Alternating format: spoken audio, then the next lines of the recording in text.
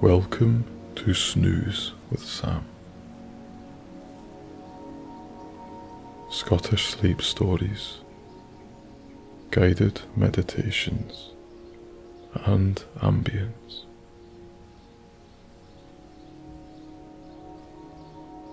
I'd like you to join me on a journey to a place where nature thrives, tranquility embraces, and life's simple pleasures mean everything.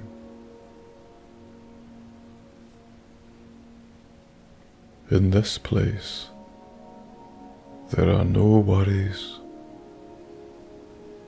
there are no unwanted thoughts, and everything moves slowly.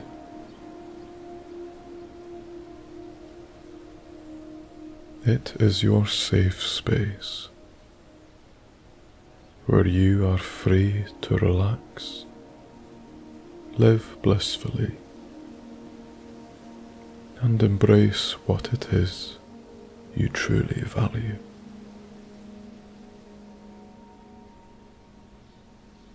So, as always, lie back, take a nice deep breath, and enjoy this story.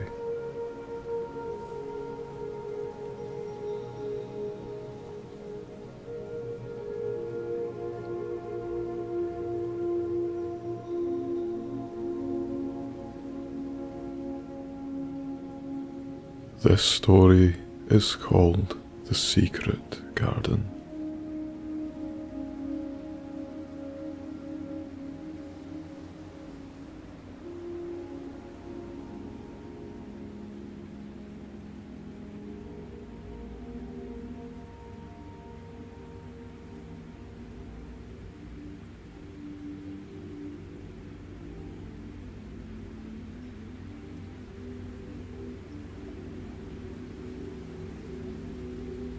Pure and simple bliss is being in the presence of nature.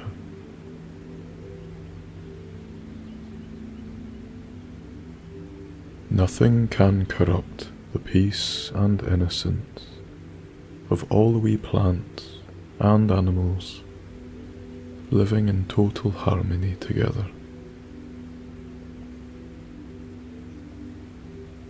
This is never more evident than in the springtime,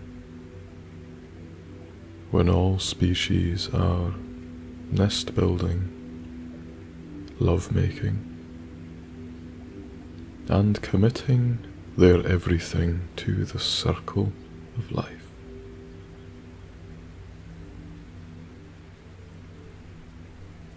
Every animal is busy ensuring they have the best chance of having little miniatures of themselves to live on and continue their legacy.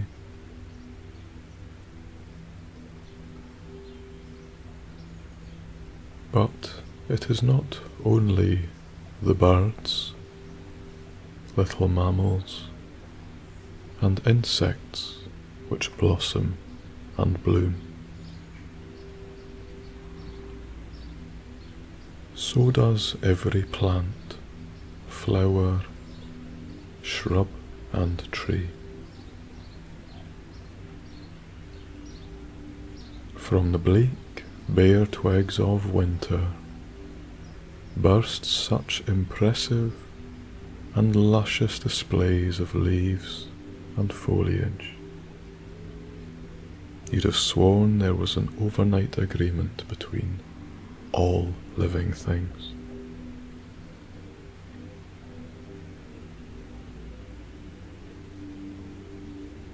Beneath the warm sunshine on this pleasant afternoon, the natural world bustles around you in all directions.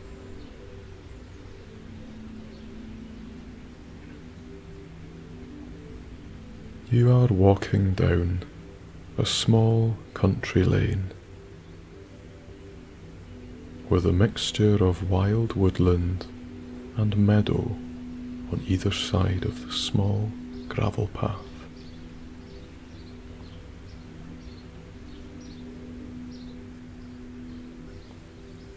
To your left,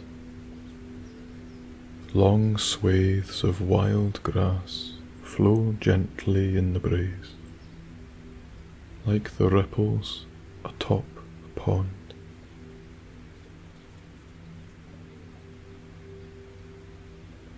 Seeing something turn the invisible air into a visual art form is always so endearing to you.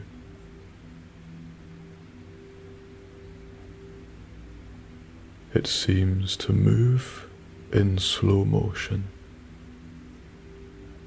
turning gusts into soothing waves and dampening the air's effect on the land.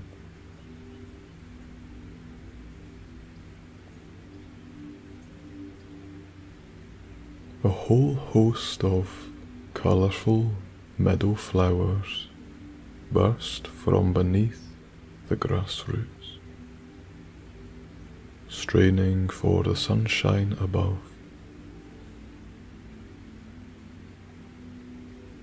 It's like someone's sewn wee buttons on a broad, sandy coloured knitted garment.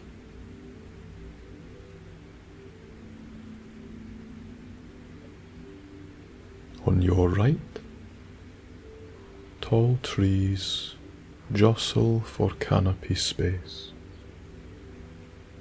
with a variety of leaves all battling for the optimum position to soak up the warm sunshine rays.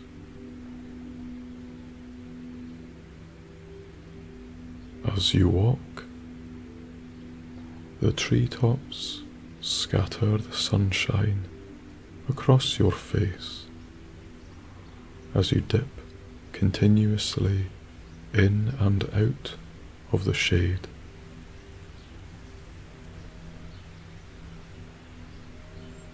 It's such a lovely warm day that you don't mind the odd bit of shade. It's rather soothing actually.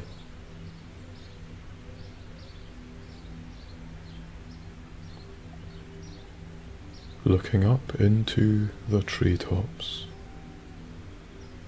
you try to count how many beings they are home to.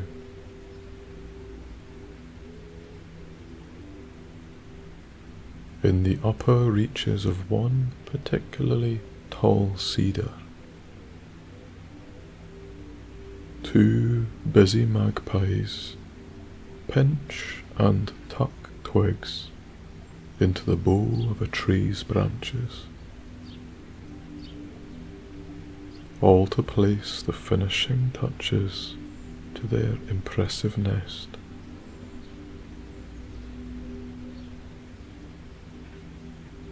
You spare some good thoughts for them wishing them all the best for the season ahead.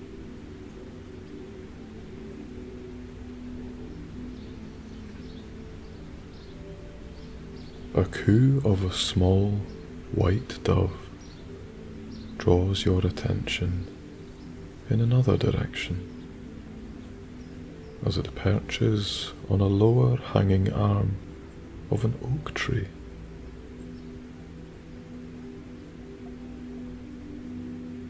Perhaps it is still looking for a mate.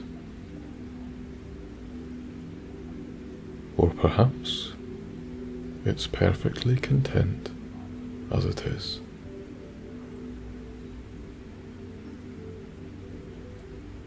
It looks happy anyway, with eyes half shut, as if losing the battle with the afternoon snoozes. You wish it some sweet dreams. A rustle of branches and scratches draws your gaze in yet another direction. As two squirrels chase one another up and down the trunks of a cluster of birches.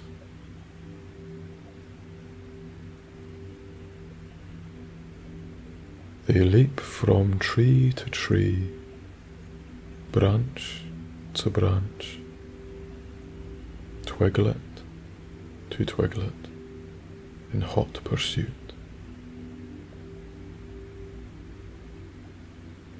You're not actually sure who is chasing who. But then they don't seem to know either.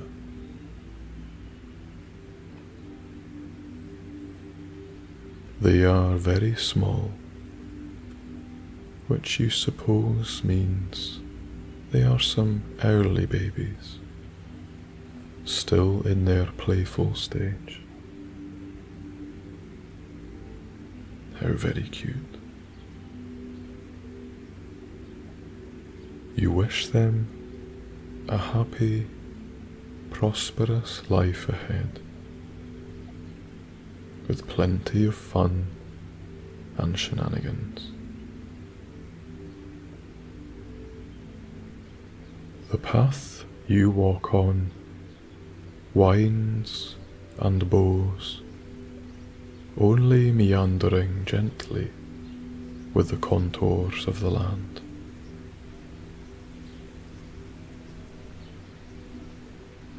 The fizz and buzz of very busy insects fills the dead space. In between bird song, the hiss of breeze blown leaves and the trickle of the odd stream or brook.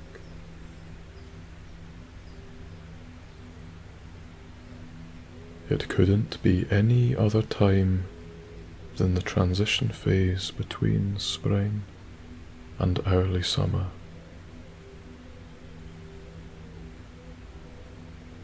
At the side of the path, a charming dry stone wall picks up where a hedgerow left off.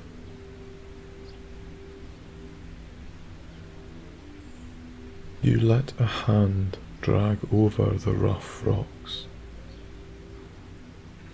feeling for their age and weathered surfaces.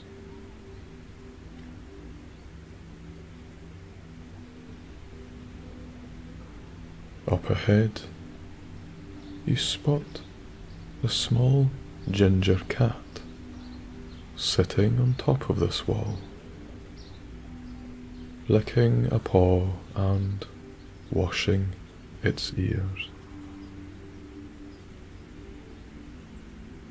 So as not to startle the cat, you ease up towards it and offer it a hand and a compulsory pss, pss, pss,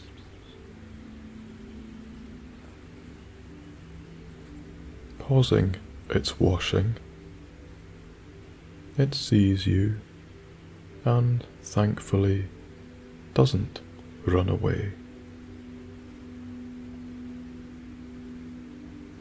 Instead, it regards you for a moment in that way that cats do,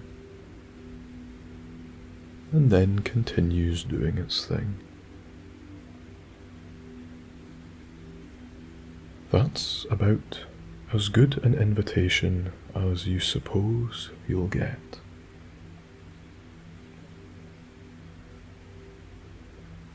So, you stroll up to the cat,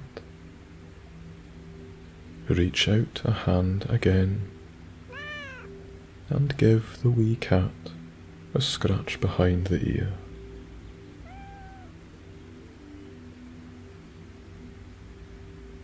At first, it doesn't seem too bothered. But then you obviously press the bliss button, and quite quickly, it involuntarily closes its eyes in contentedness.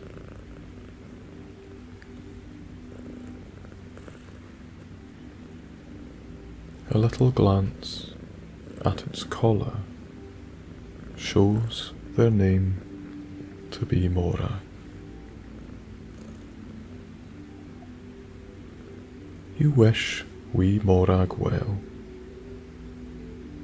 as you whisper sweet little nothings to this most friendly of cats.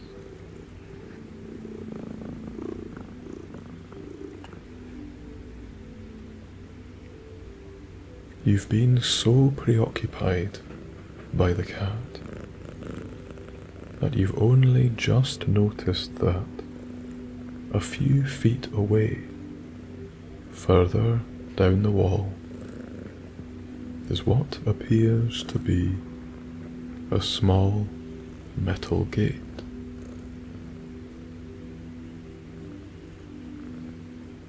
With a final stroke of Morag's wee face, you investigate.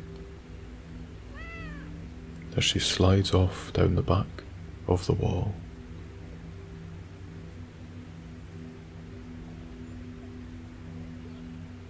Looking closer at the gate, this work of wrought iron is truly beautiful,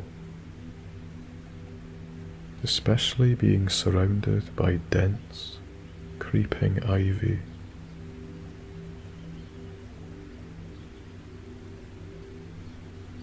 Clearly, having been forged with love, care, and a great deal of skill, the intricacies of the metal patterns are rather bewitching.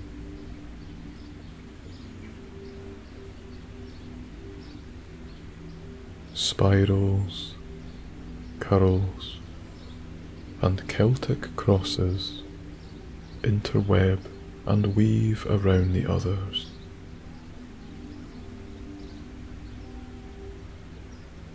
The most fascinating details about this gate, however, are its colours.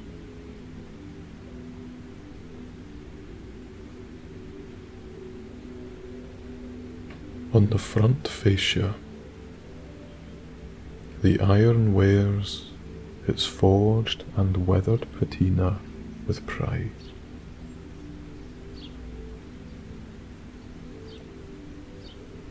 Mild rusty oranges break free from the graphite metal in places.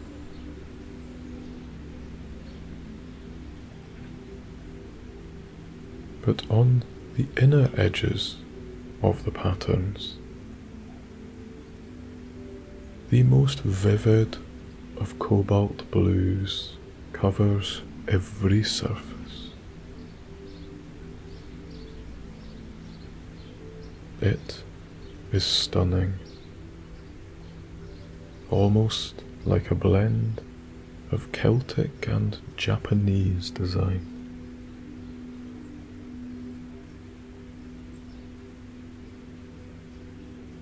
No light escapes around the edges of this gate, but you can see through it. And on the far side, a smaller, tighter corridor wanders off into the distance beneath the trees. How curious.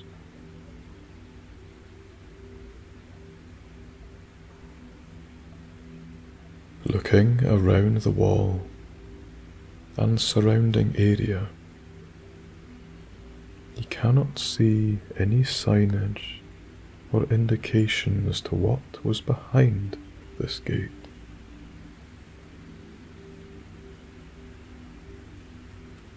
You certainly saw no houses through the woodland on your approach.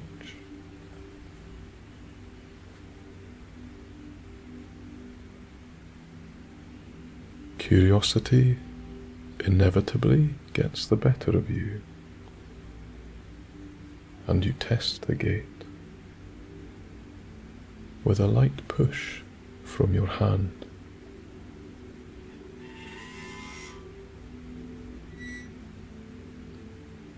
With the most gentle of metallic squeaks, the gate swings gently inwards with little to no resistance.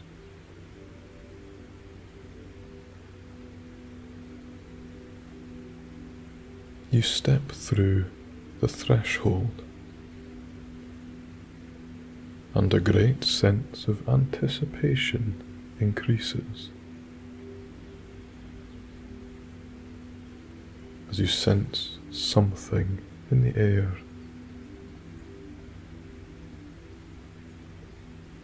A tangible feeling of welcoming calm and tranquility, as though there is something close by which wants you to explore it.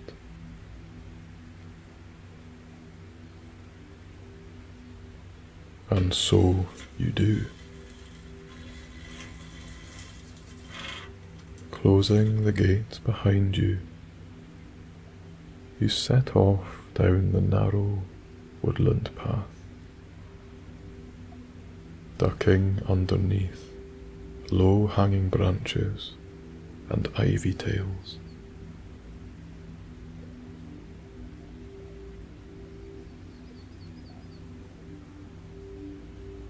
Now you sense a change in scenery is near. As the sound quality of your surroundings moves from one of intimate delicacy beneath the close woods to one of impending openness.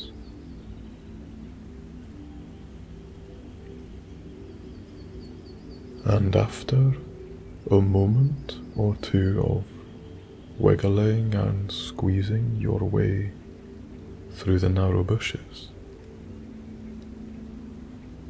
you find that you are right.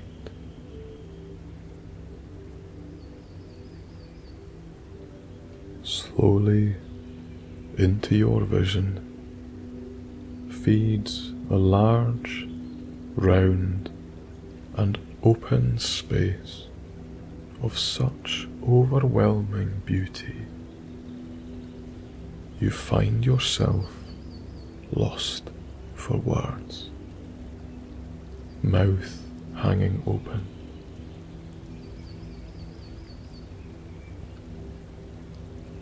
It's like a secret garden, tucked well away out of sight.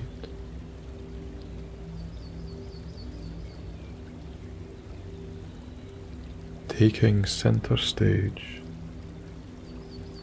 a pond fit for a postcard lies beneath a huge cherry blossom tree in full bloom.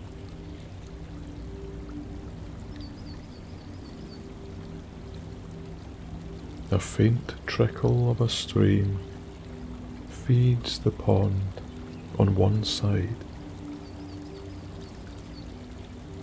but not before it falls and tumbles down a series of stepped stones, creating the most lovely water feature.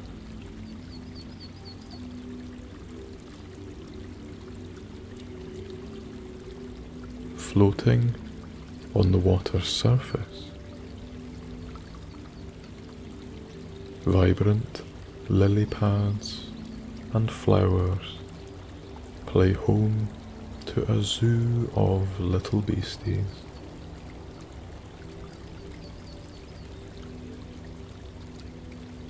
Toads and frogs peer from the shallows, watching in case any passers by get a little too close.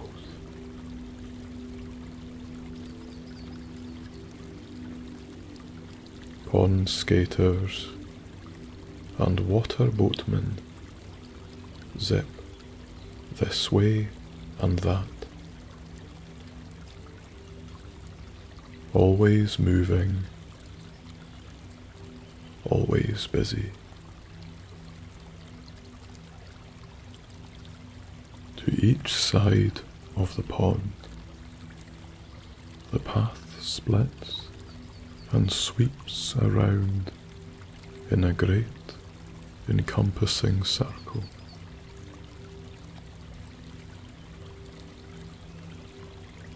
There is a very obvious divide between the garden's residents on each side of the pond.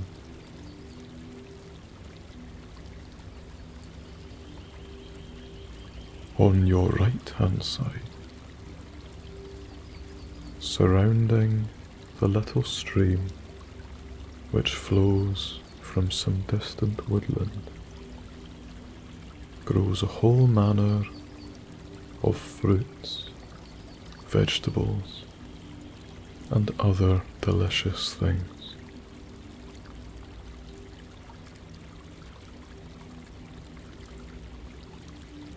Up at the back, where it's a little shadier, deep troughs keep potatoes, turnips, parsnips, and carrots happy, all of which look healthy and ripe for picking.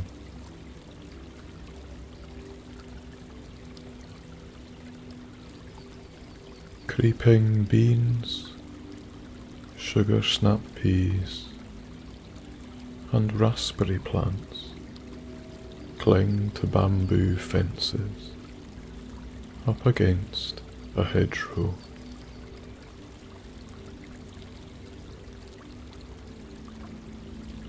Purply red Swiss chard and other leafy greens take up the spaces in between the larger bushes and sporadic fruit trees and shrubs here and there.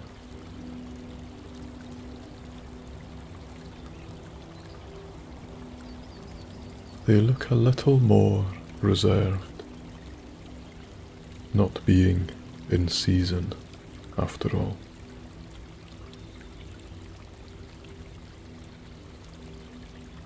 But the plum trees, apple groves, and gooseberry bushes all flower little delicate white flowers in anticipation of autumn.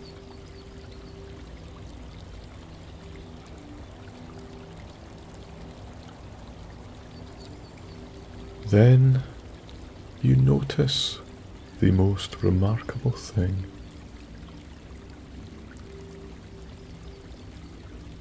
A little further up the garden,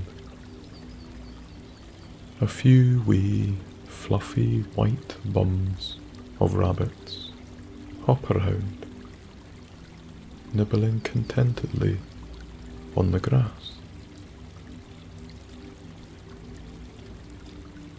You'd not even have noticed them if they hadn't moved. But here they are, not eating the vegetables.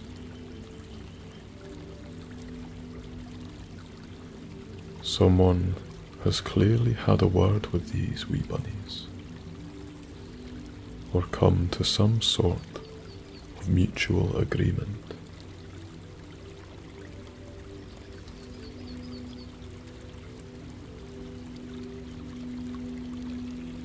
Strolling across to the left side of the pond, you soak up everything on offer in this half of the garden. Dozens of flowers of all varieties shine and bloom with utter radiance.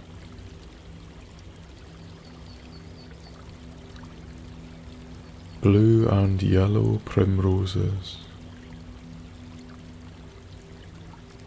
gleaming white snowdrops,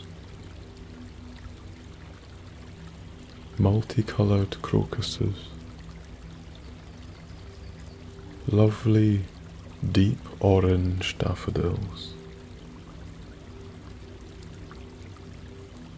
hyacinths, tulips, and even the odd cluster of red and pink wallflowers set amongst some rock beds.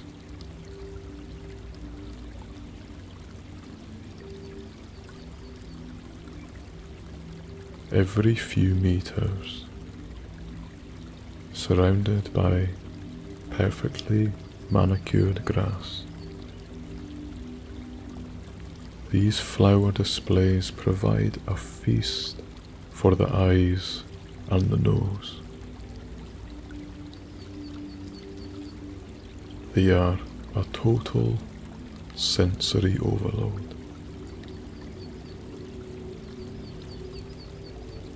It's one of your favorite things to enjoy the smell of flowers.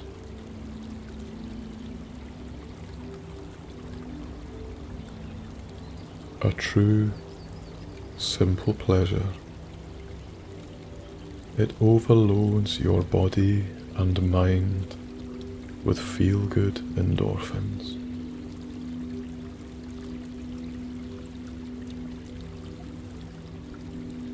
The whole garden is a sensory overload as it is.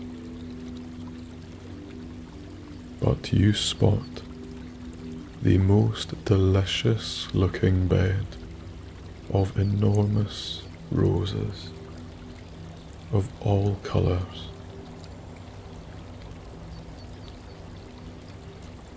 You bend down to smell them all in turn.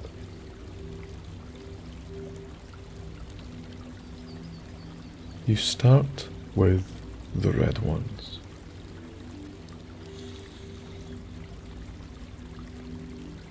Very nice. A classic rose smell, and not all too sweet. Kind of like Turkish delight.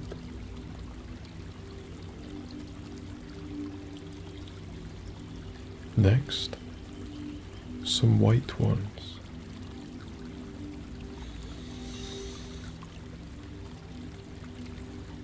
These are very delicate with hardly much smell at all.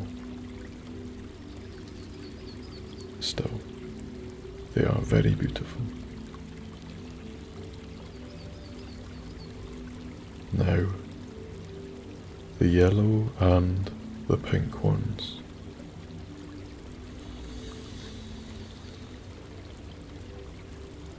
With a great lungful of air you find yourself in blissful euphoria as the sweetest, richest, and most tantalizing aromas you can remember flow through your entire body.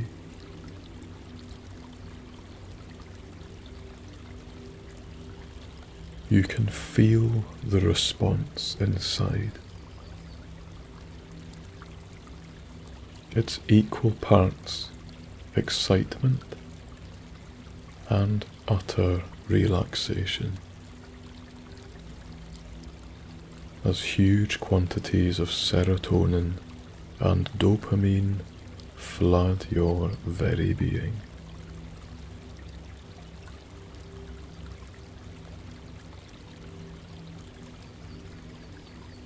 Another wee movement in your peripheral vision draws your attention as a wee spiny hedgehog shuffles casually along the grass in the direction of some undergrowth.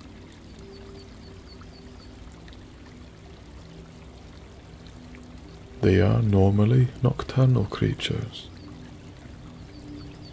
though perhaps this garden is just too special even for them to miss during the day.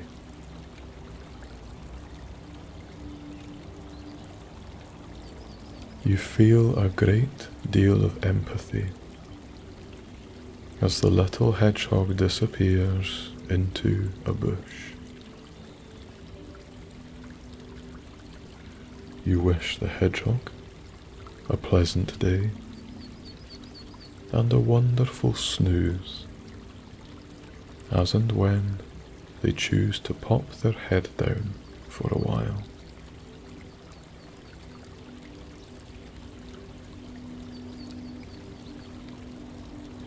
Nearby to the bush, into which the hedgehog vanished, you spot a little gap in the foliage, which looks like it leads to somewhere.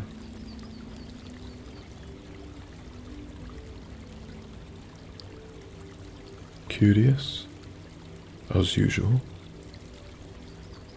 you wander over and peer through, and to your delight,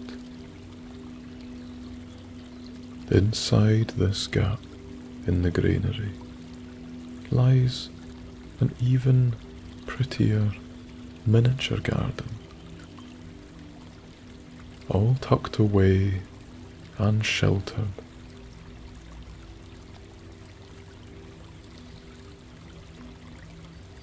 There are two smaller cherry blossom trees, all fully in bloom with white and pink flowers. And strung between the two is a hammock, complete with a shawl and a couple of pillows.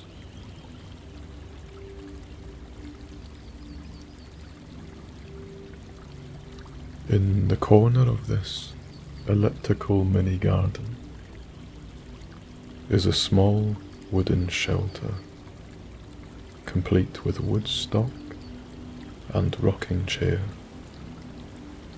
all arranged on a pretty little flagstone patio.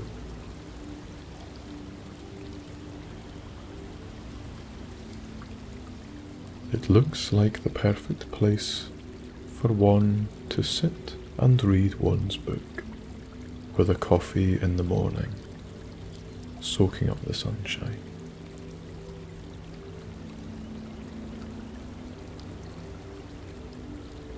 On the other side, more creeping vines run up stone walls and the dense hedges, backing onto the rearmost border of the entire garden.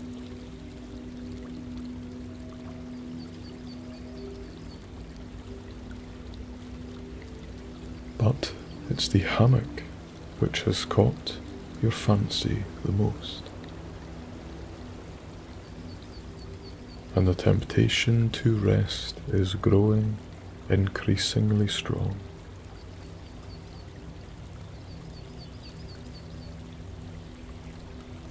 Without much further debate, you step underneath the low hanging branches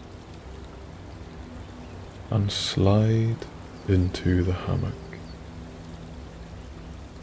letting your body settle where it lies.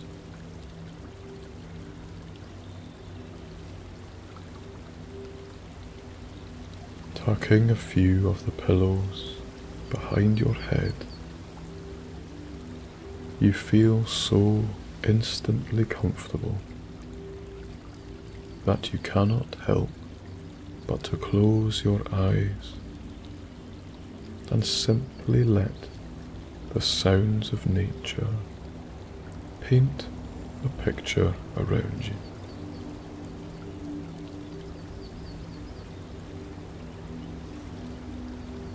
Your breaths deepen, your heart rate slows to a reduced and relaxed pace.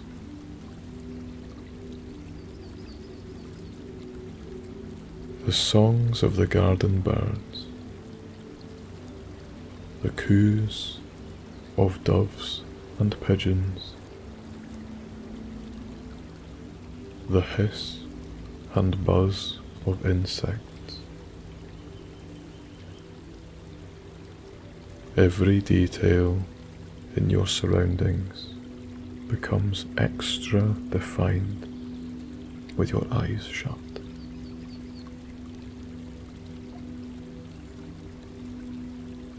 You can pick out everything.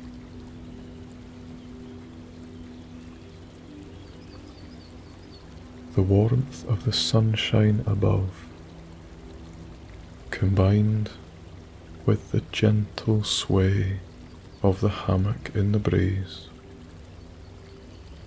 begins to lull you into a deeper and deeper rest.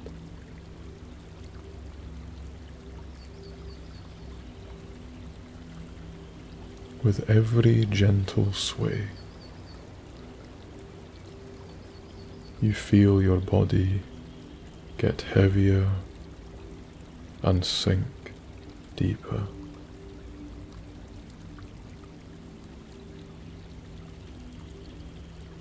Merely listening to the natural world and all its inhabitants soothes you and calms your mind.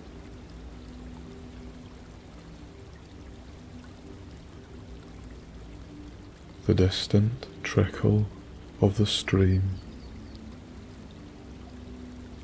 the odd drill of a woodpecker, the incessant trills of a musical blackbird. All blend into one wonderful and relaxing soundscape which lulls you closer and closer to a deep rest.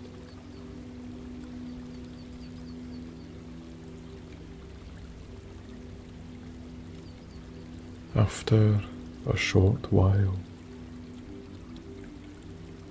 your thoughts begin to wander and daydream.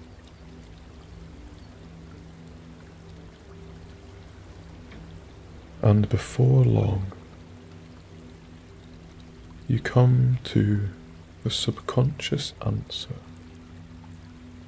that it is pure and simple bliss being in the presence of nature.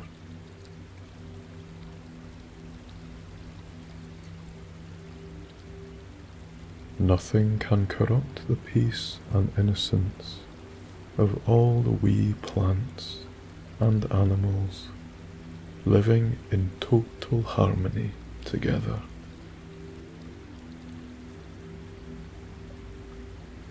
This is never more evident than in the springtime, when all species are nest building lovemaking,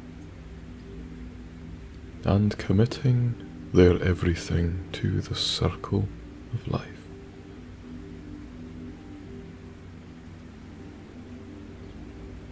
Every animal is busy, ensuring they have the best chance of having little miniatures of themselves to live on and continue their legacy.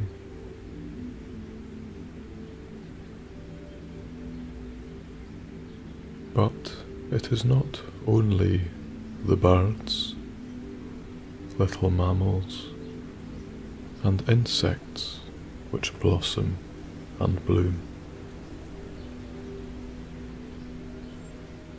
So does every plant, flower, shrub, and tree.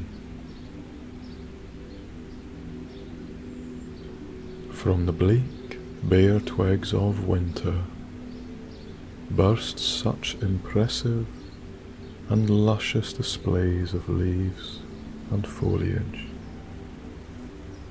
You'd have sworn there was an overnight agreement between all living things.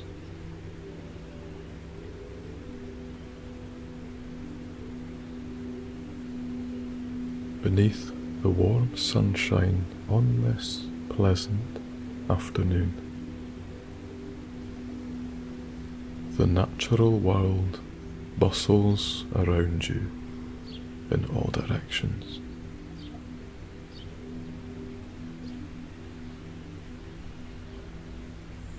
You are walking down a small country lane with a mixture of wild woodland and meadow on either side of the small gravel path.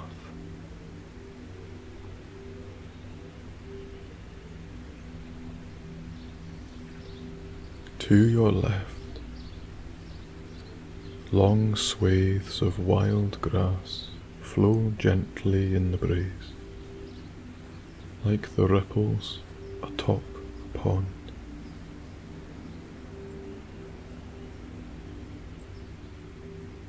Seeing something turn the invisible air into a visual art form is always so endearing to you.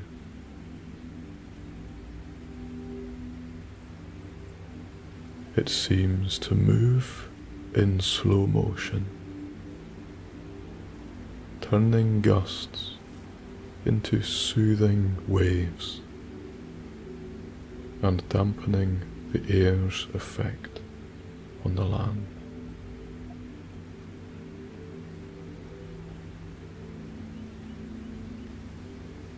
A whole host of colourful meadow flowers burst from beneath the grass roots,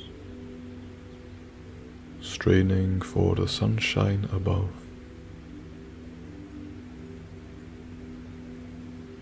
It's like someone's sewn wee buttons on a broad, sandy coloured knitted garment.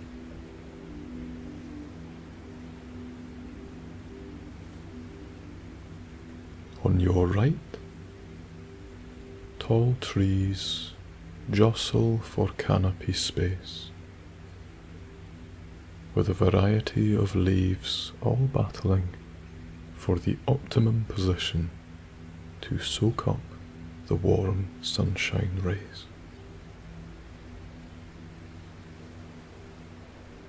As you walk, the treetops scatter the sunshine across your face as you dip continuously in and out of the shade.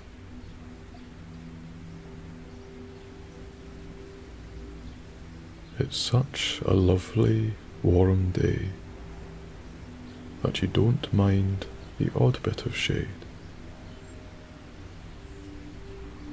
It's rather soothing actually.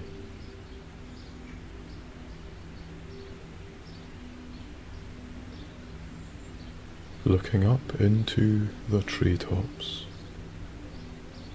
you try to count how many beings they are home to.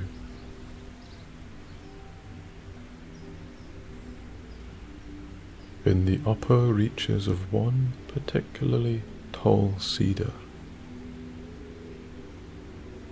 Two busy magpies pinch and tuck twigs into the bow of a tree's branches,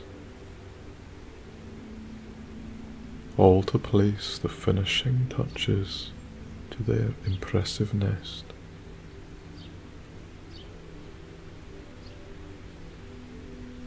You spare some good thoughts for them,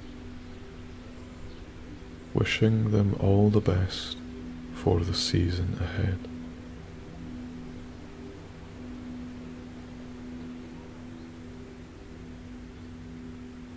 A coo of a small white dove draws your attention in another direction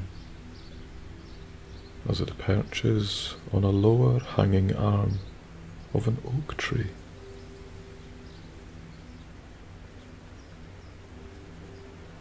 Perhaps it is still looking for a mate.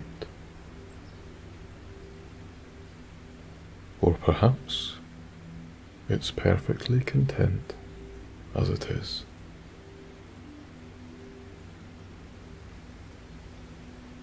It looks happy, anyway, with eyes half shut, as if losing the battle with the afternoon snoozes. You wish it some sweet dreams. A rustle of branches and scratches draws your gaze in yet another direction. As two squirrels chase one another up and down the trunks of a cluster of birches.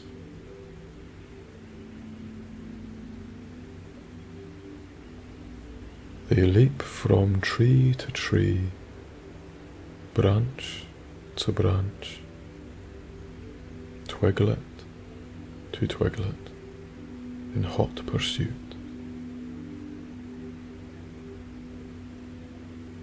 You're not actually sure who is chasing who, but then they don't seem to know either.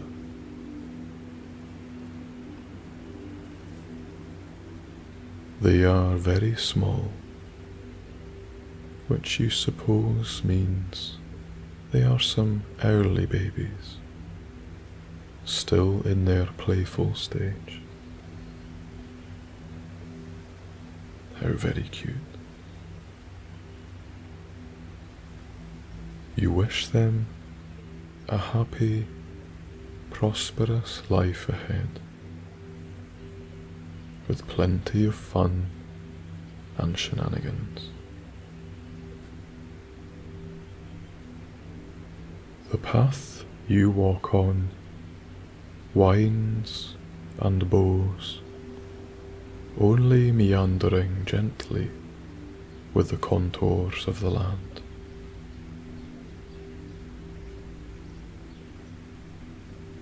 The fizz and buzz of very busy insects fills the dead space.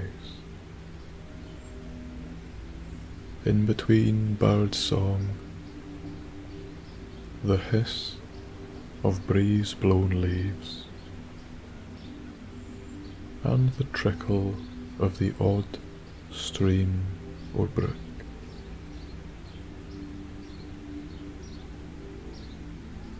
It couldn't be any other time than the transition phase between spring and early summer.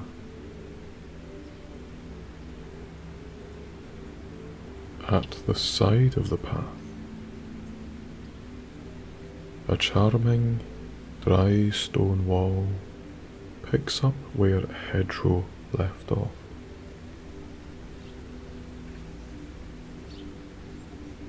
You let a hand drag over the rough rocks, feeling for their age and weathered surfaces.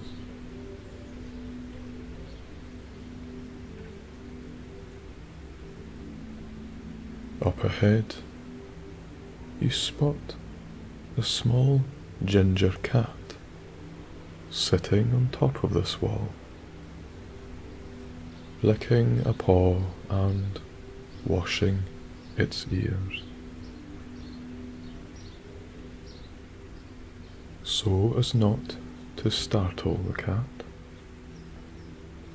you ease up towards it and offer it a hand and a compulsory pss.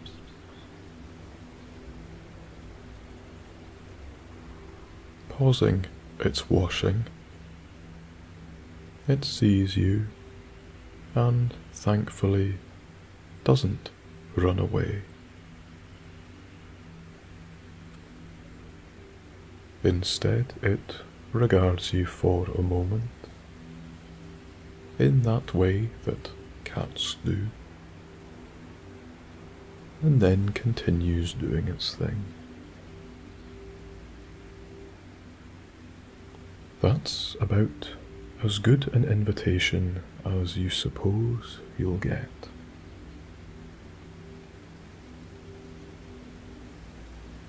So, you stroll up to the cat, reach out a hand again, and give the wee cat a scratch behind the ear.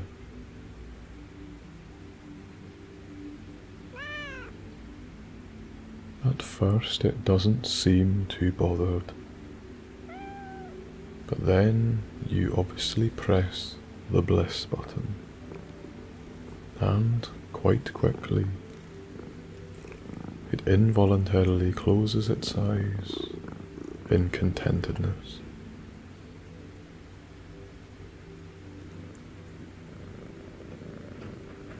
A little glance at its collar shows their name to be Morag.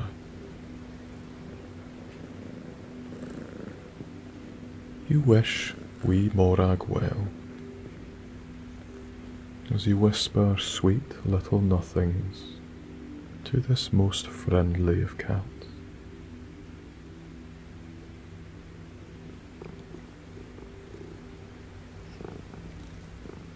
You've been so preoccupied by the cat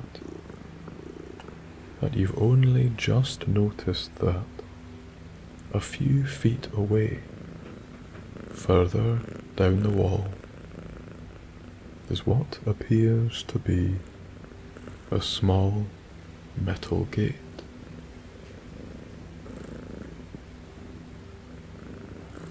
With a final stroke of Morag's wee face, you investigate.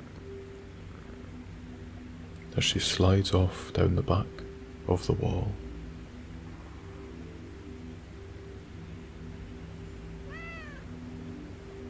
Looking closer at the gate, this work of wrought iron is truly beautiful, especially being surrounded by dense, creeping ivy.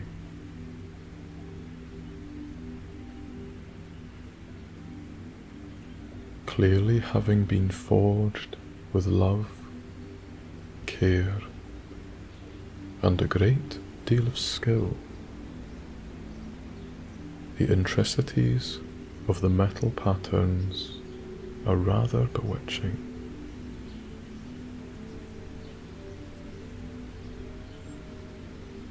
Spirals, curls, and Celtic crosses interweb and weave around the others.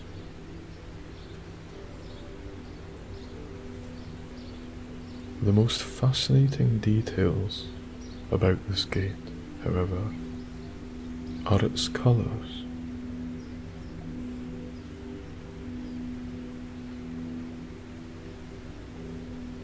On the front fascia, the iron wears its forged and weathered patina with pride.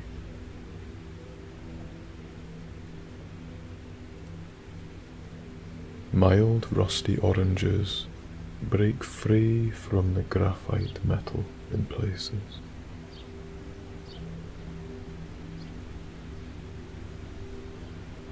But on the inner edges of the patterns, the most vivid of cobalt blues covers every surface. It is stunning, almost like a blend of Celtic and Japanese design.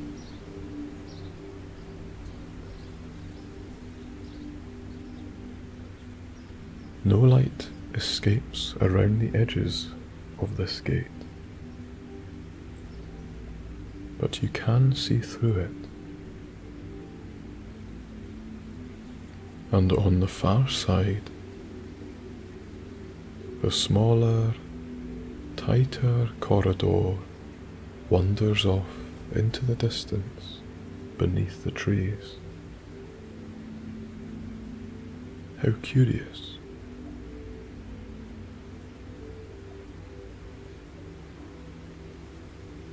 Looking around the wall and surrounding area, you cannot see any signage or indication as to what was behind this gate.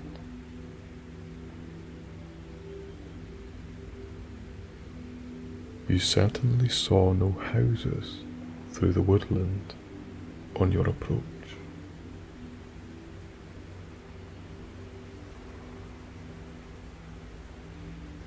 Curiosity inevitably gets the better of you, and you test the gate with a light push from your hand.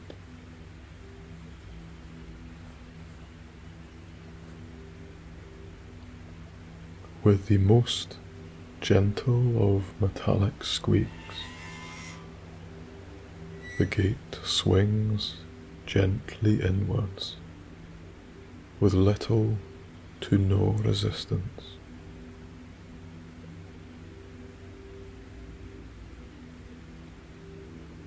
You step through the threshold,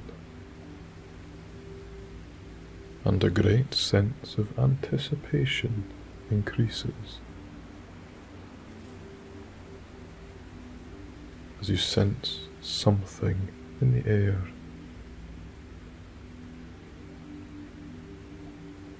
Tangible feeling of welcoming calm and tranquility, as though there is something close by which wants you to explore it.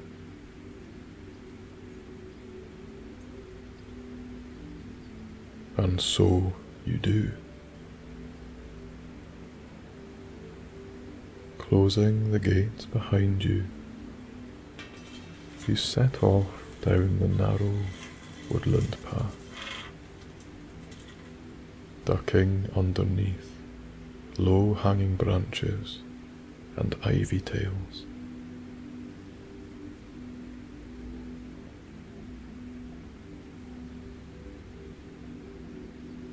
Now you sense a change in scenery is near. As the sound quality of your surroundings moves from one of intimate delicacy beneath the close woods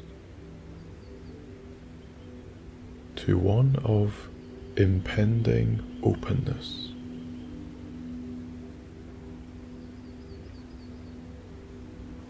And after a moment or two of wiggling and squeezing your way through the narrow bushes,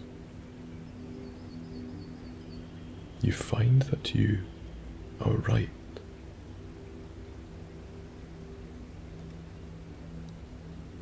Slowly into your vision feeds a large, round, and open space of such overwhelming beauty, you find yourself lost for words, mouth hanging open.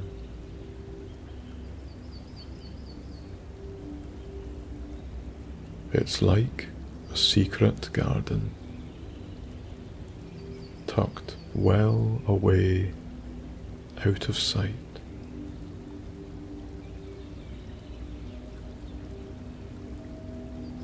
Taking centre stage, a pond fit for a postcard lies beneath a huge cherry blossom tree in full bloom.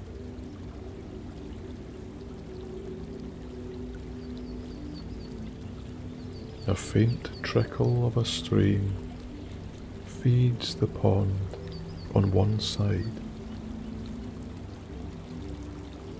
but not before it falls and tumbles down a series of stepped stones, creating the most lovely water feature.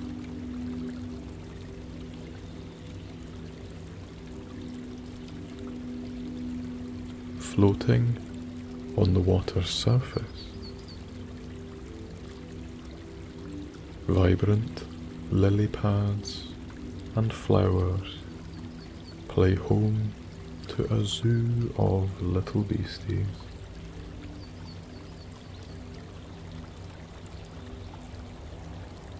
Toads and frogs peer from the shallows, watching in case any passers by get a little too close.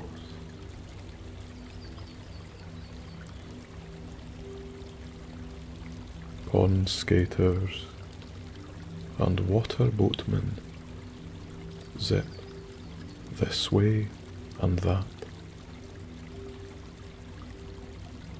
always moving, always busy. To each side of the pond, the path splits and sweeps around in a great encompassing circle.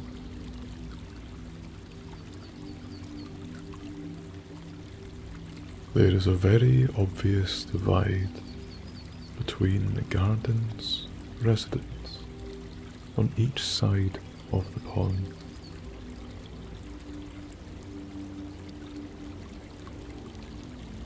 On your right hand side, surrounding the little stream which flows from some distant woodland grows a whole manner of fruits, vegetables, and other delicious things.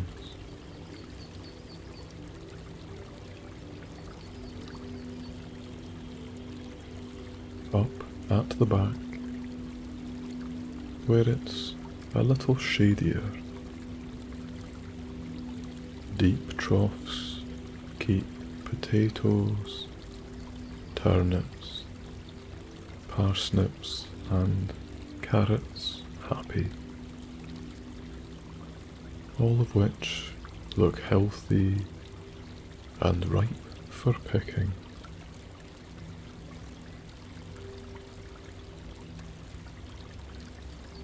Creeping beans, sugar snap peas, and raspberry plants cling to bamboo fences up against a hedgerow.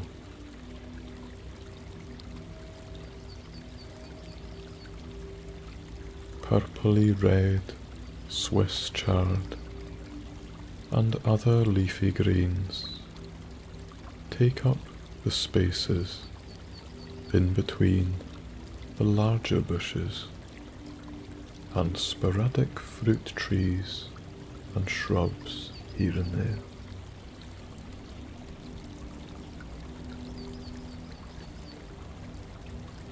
they look a little more reserved, not being in season after all.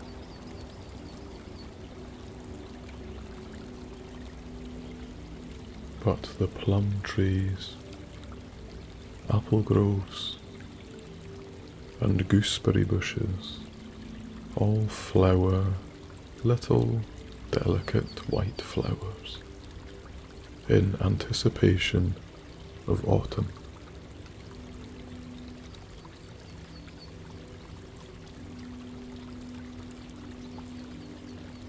Then you notice the most remarkable thing.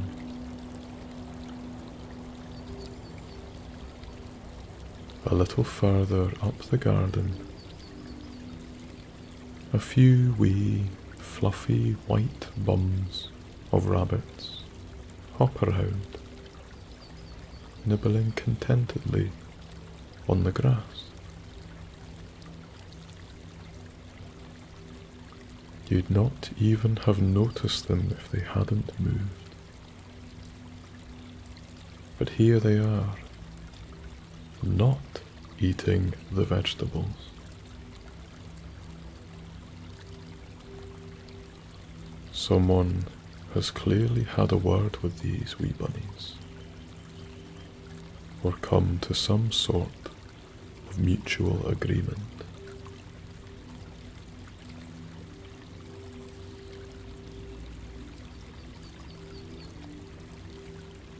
Strolling across to the left side of the pond.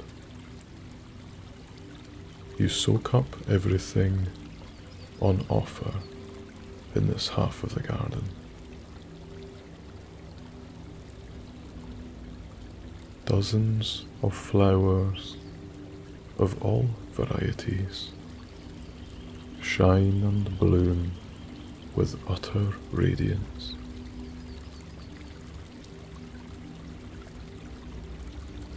Blue and yellow primroses, gleaming white snowdrops, multicolored crocuses, lovely deep orange daffodils, hyacinths, tulips, and even the odd cluster of red and pink wallflowers set amongst some rock beds.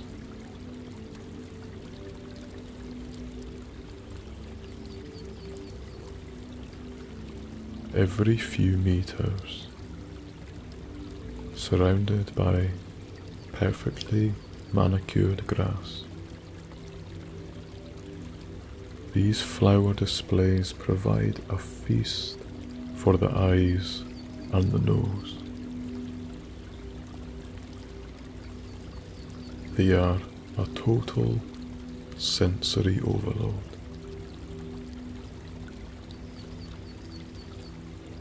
It's one of your favorite things to enjoy the smell of flowers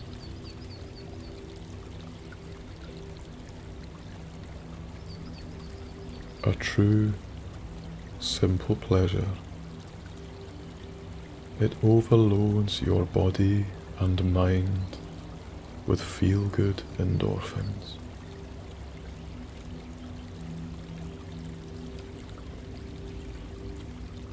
The whole garden is a sensory overload as it is. But you spot the most delicious looking bed of enormous roses of all colours.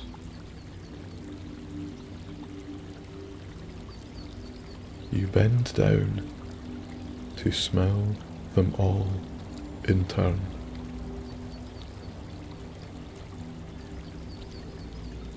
You start with the red ones.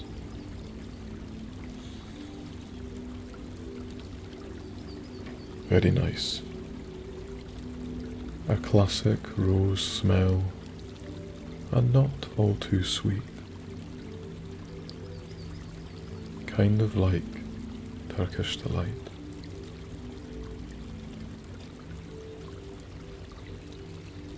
Next, some white ones.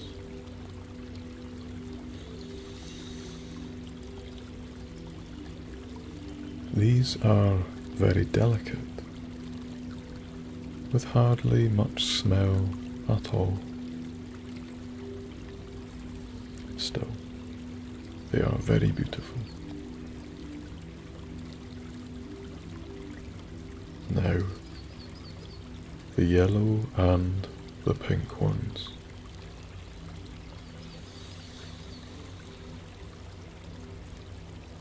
With a great lungful of air, you find yourself in blissful euphoria as the sweetest, richest, and most tantalizing aromas you can remember flow through your entire body.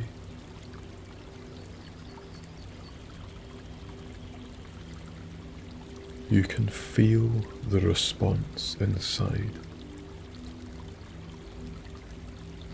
It's equal parts excitement and utter relaxation.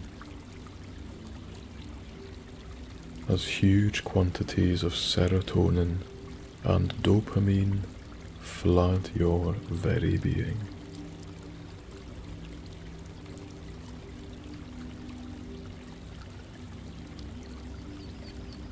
Another wee movement in your peripheral vision draws your attention as a wee spiny hedgehog shuffles casually along the grass in the direction of some undergrowth.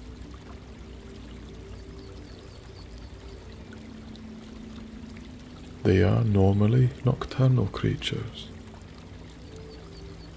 though perhaps this garden is just too special even for them to miss during the day.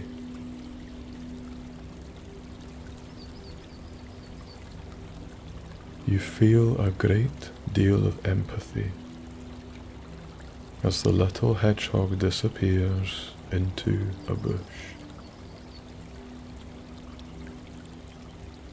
You wish the hedgehog a pleasant day and a wonderful snooze as and when they choose to pop their head down for a while.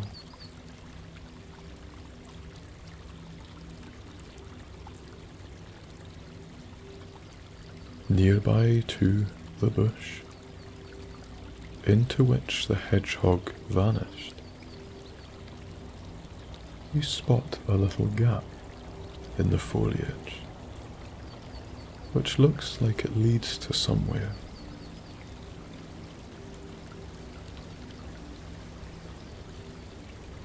Curious, as usual, you wander over and peer through, and to your delight, Inside this gap in the granary lies an even prettier miniature garden, all tucked away and sheltered.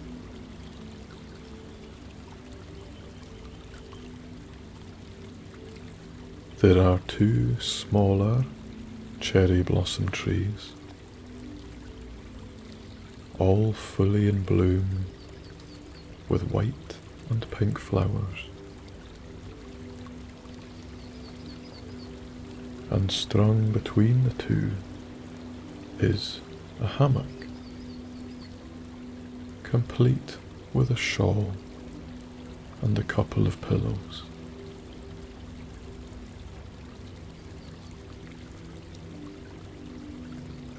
In the corner of this elliptical mini garden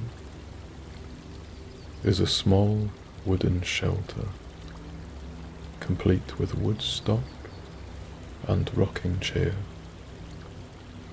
all arranged on a pretty little flagstone patio.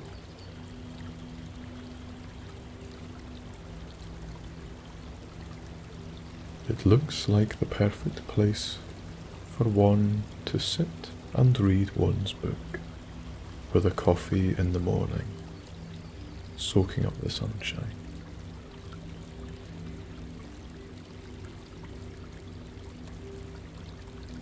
On the other side, more creeping vines run up stone walls and the dense hedges, backing onto the rearmost border of the entire garden.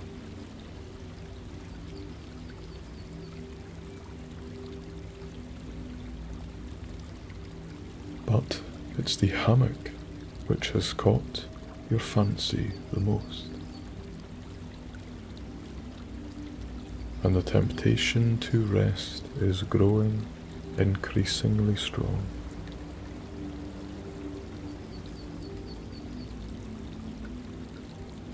Without much further debate, you step underneath the low hanging branches and slide into the hammock, letting your body settle where it lies.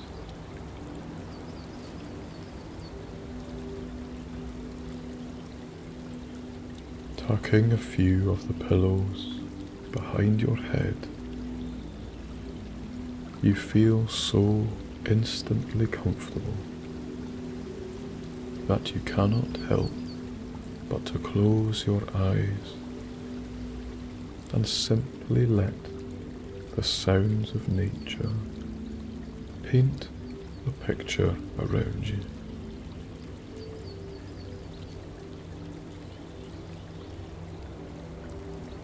Your breaths deepen. Your heart rate slows to a reduced and relaxed pace.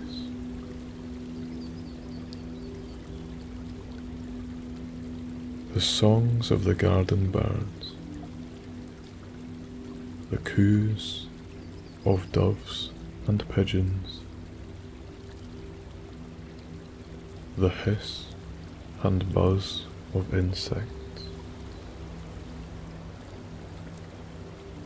Every detail in your surroundings becomes extra defined with your eyes shut.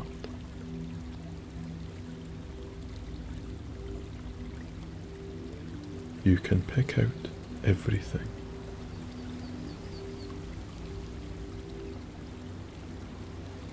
The warmth of the sunshine above, combined with the gentle sway of the hammock in the breeze,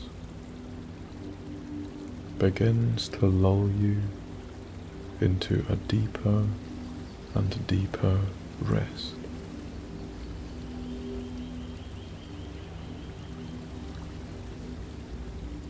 With every gentle sway,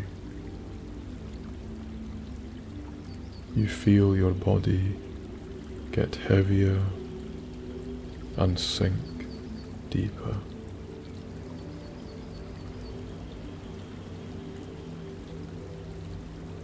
Merely listening to the natural world and all its inhabitants soothes you and calms your mind.